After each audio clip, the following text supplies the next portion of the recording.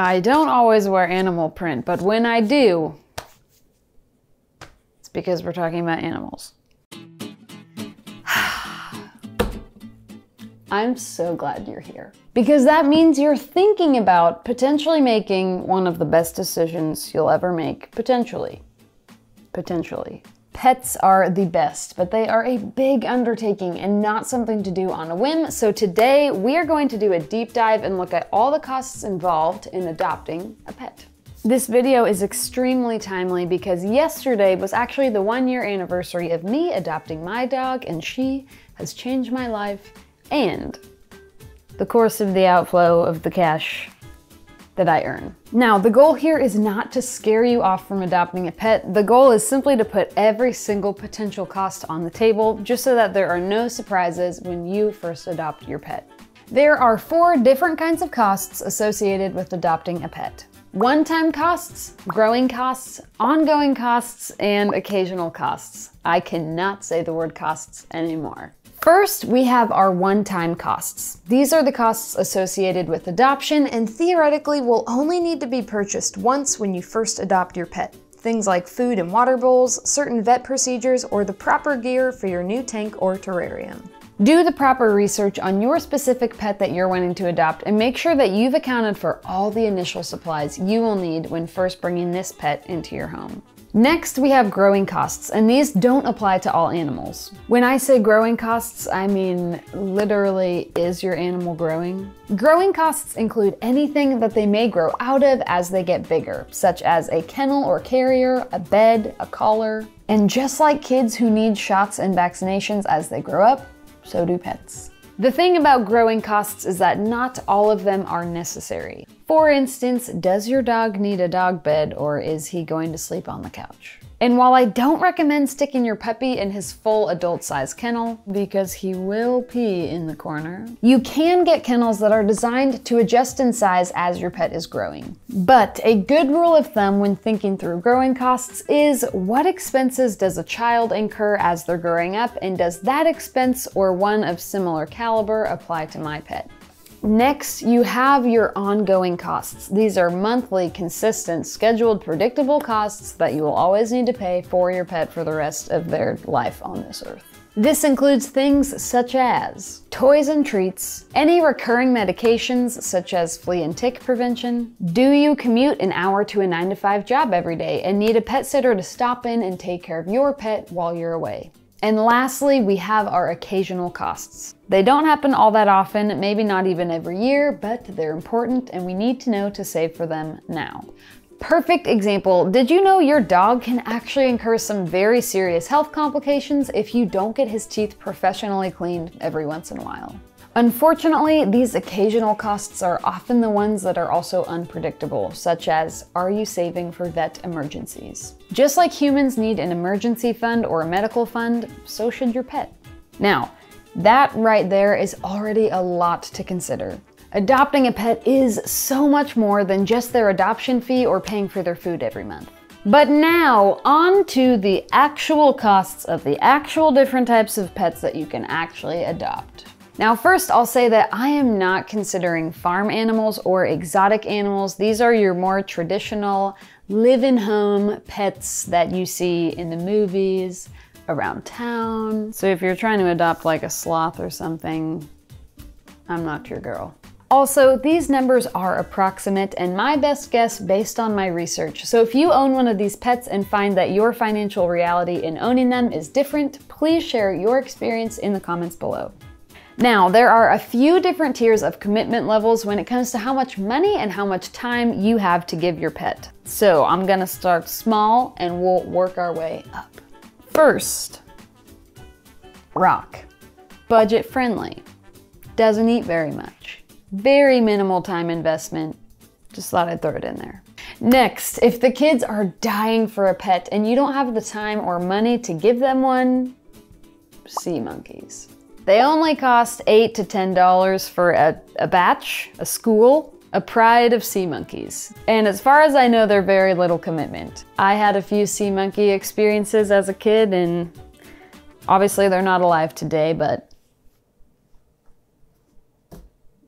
I guess that's all I have to say about that. Very similar vein, Ant Farm. They only cost 15 to $25. And again, do you, you feed ants, right? I guess I didn't do enough research on the ant farm. Next up, hermit crabs. I never had one as a kid, but they are less than $10 and according to my research, only cost about $6 a month. Not gonna lie, I'm not exactly sure what you're buying that would cost $6 a month, but a crab is a crab and, and it's a pet, so. Example of a growing cost though, did you know that hermits change shells throughout their life? So when buying a hermit crab, you also want to buy a few different size shells that he can move into and grow into as he gets bigger.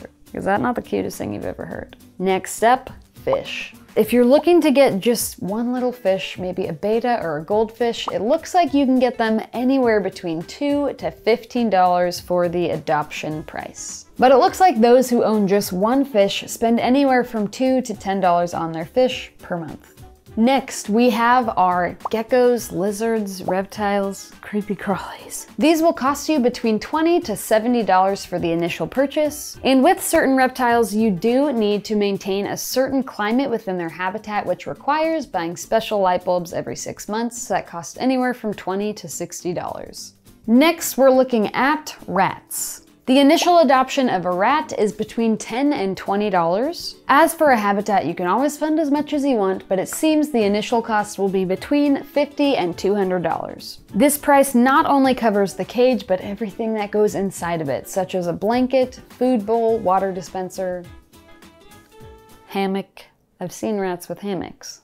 I don't even have a hammock. It is also worth noting that rats are a social being. They're not super happy on their own, so you'll want to consider adopting a pair. Next, we have small birds. I was specifically researching canaries, so this is the research I found if you want a canary. Uh, Adjust for other species. The cost of a canary can range from 25 to $150. Per year, you can plan to spend about $75 on food, $25 for toys and treats, and $85 for an annual vet checkup. Next, we have our hamster slash gerbil slash guinea pig slash degu. Never heard of a degu before, but they're like a cuter guinea pig. The adoption price for one of these furry fellas can be as affordable as a $5 hamster with a $50 setup or a $100 degu with a $300 enclosure. Their monthly expenses involve food, hay, bedding, and just like the rat, some of these, such as the guinea pig, are social animals, which means you'll probably want to adopt two. If adopting a pair, double the price of all these expenses. Next, rabbit. My first pet was a rabbit, good old brownie. Adopting a rabbit costs between 20 and $100, and according to my research, rabbits seem to cost between 50 and $150 per month. That was more than I expected. One reason for their pricey monthly cost is that rabbits should be consuming fresh produce on the regular. They also need hay, pellets, and litter. And you'll also want to take them in for a yearly exam, plan on $100. Next up, the pet I always wanted as a kid and never got. The ferret, ladies and gentlemen.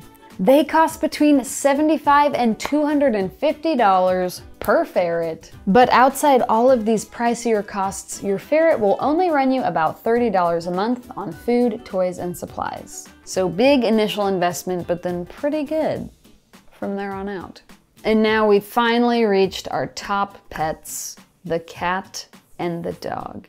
Adopting a cat from a shelter can cost as little as $25. You will want to microchip your cat and that costs about $60. All spaying, neutering, and required vaccinations will cost between $100 to $200 per cat. And research shows that you will spend between $150 and $3,000 on your cat per year.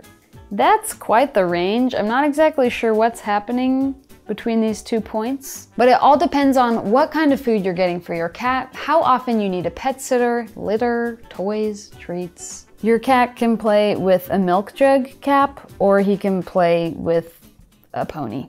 And lastly, if you are wanting a dog, you can adopt from a shelter as affordably as $50, and again, you can spend as much as you want on your dog. To vaccinate, spay, or neuter, it'll cost between $100 and $300, but often that cost is built into the adoption price. Same with cats. Also, according to the internet, the cost of an average emergency vet visit for dogs is about $1,000. So if you're going to adopt a dog, I would start padding an emergency vet fund right now. Forbes magazine said that you will spend between $17,000 and $93,000 on your dog in his lifetime. This is where my plug for pet insurance comes in. I signed up for pet insurance for my dog with Bivvy. This is not sponsored. The quote I was given for her age, breed, size was $10 a month. But if you do the math, I am spending $120 on pet insurance a year. Flashback to a month ago when my dog needed to be sedated, have blood work, get x-rays. She's very dramatic. And when I submitted our invoice from that emergency, I was reimbursed more than double what I will pay annually for pet insurance just in that one emergency. So I would just say, if you're considering a cat or a dog, and maybe if you notice that they're extra accident prone or they have a lot of digestive issues, get insurance. You probably won't regret it. And now that we've done a deep dive on what expenses you can expect based on what pet you adopt, let's look at some other factors. First, pets don't just require money, they require time and a lot of it. Your pet absolutely needs love, affirmation, physical affection just as much as you do. So as you are exploring the idea of adopting a new pet, make sure that this is the right season to bring that new companion into your life. Next, make sure you know the breed and temperament of the animal you are adopting. For example, when I adopted my dog, she's a mix, she's a mutt, I don't really know what she is, but it didn't take long for me to discover after adopting her that she is a guard dog. Man oh man, is she a guard dog. But I will say, in that regard, my life got harder than easier. So if you're looking for your life to stay quiet, simple, easy, just make sure you're investing in the right pet, because she's what we call a handful. Next, no matter what pet you have, a frog or a Great Dane, make sure you have a backup medical emergency fund for that animal. I promise you it'll be so much easier to pay for their emergencies if you've prepared for it than if you are just hoping nothing bad ever happened. That makes sense, right? And lastly, animals are not too different from humans. They can have depression, anxiety, special diets. I, for one, have learned that my dog is not a piece of cake. She has food allergies and a very special diet, and she also definitely has anxiety. So just know that there might be a lot of ways you'll need to invest in your pet outside of just playing and cuddling.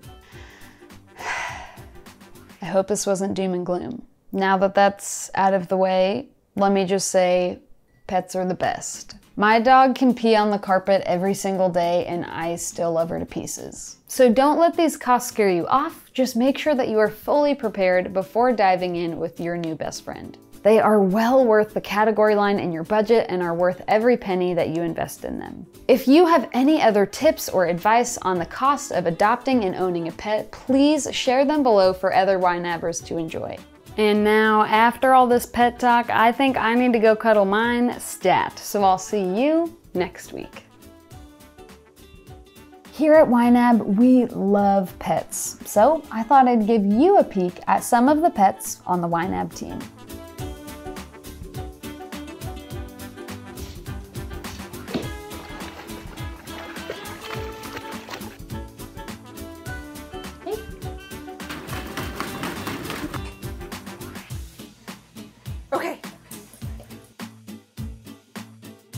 Hey, Dale.